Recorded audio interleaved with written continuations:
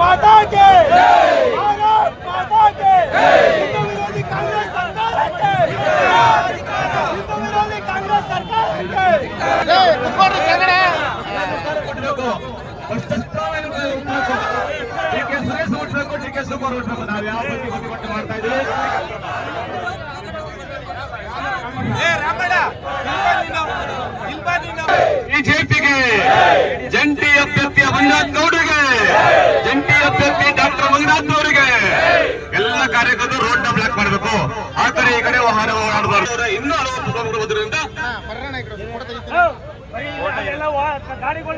ಪ್ರತಿಭಟನೆ.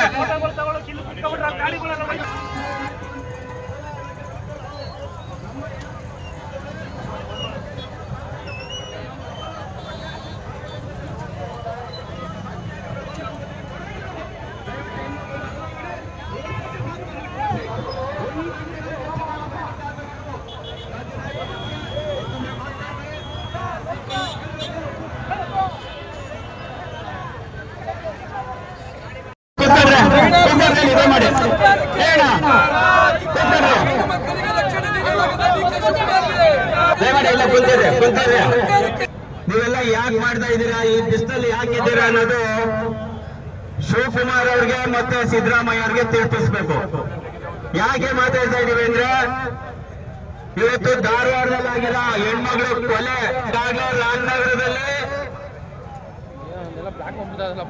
ಈಗಾಗಲೇ ರಾಮನಗರದಲ್ಲೂ ಕೂಡ ಅನೇಕ ರೀತಿ ನಮ್ಮ ಹಿಂದೂ ಹಿಂದೂ ಮತ್ತು ಮುಖಂಡರಿಗೆ ಮತ್ತು ಹಿಂದೂ ಹೆಣ್ಮಕ್ಳಿಗೆ ತೊಂದರೆ ಆಗ್ತಾ ಇರೋದು ಎಲ್ಲರಿಗೂ ಗೊತ್ತಿರ್ತಕ್ಕ ಇವತ್ತು ಒಬ್ಬ ಗೃಹ ಸಚಿವ, ಇವತ್ತು ಅವರು ವೈಯಕ್ತಿಕವಾಗಿ ಅವರು ಬೆಲೆ ಆಗಿದೆ ಅಂತ ಹೇಳಕ್ಕೆ ನಾಚಿಕೆ ಆಗೋದು ಅವ್ರಿಗೆ. ಇಡೀ ದೇಶ ನೋಡ್ತಾ ಇದೆ, ಇಡೀ ರಾಜ್ಯ ನೋಡ್ತಾ ಇದೆ. ಬಂಧುಗಳೇ, ನಾವೇನಾದ್ರೂ ನಾವು ಎಚ್ಚೆತ್ಕೊಂಡಿಲ್ಲ ಅಂದ್ರೆ ನಾವು ಬರುವಂತ ಇಪ್ಪತ್ತಾರನೇ ತಾರೀಕು. ನಾವು ಇನ್ನೂ ಇವತ್ತೇನಾದ್ರೂ ಮೋದಿಯವರು ಈ ದೇಶದ ಪ್ರಧಾನಿ ಆಗಿಲ್ಲ ಅಂದ್ರೆ ಇಡೀ ಹಿಂದೂಸ್ತಾನ ಮುಸ್ಲಿಂ ರಾಷ್ಟ್ರ ಆಗ್ತದೆ. ಆ ಮುಸ್ಲಿಂ ರಾಷ್ಟ್ರ ಆಗ್ಬೇಕಾ?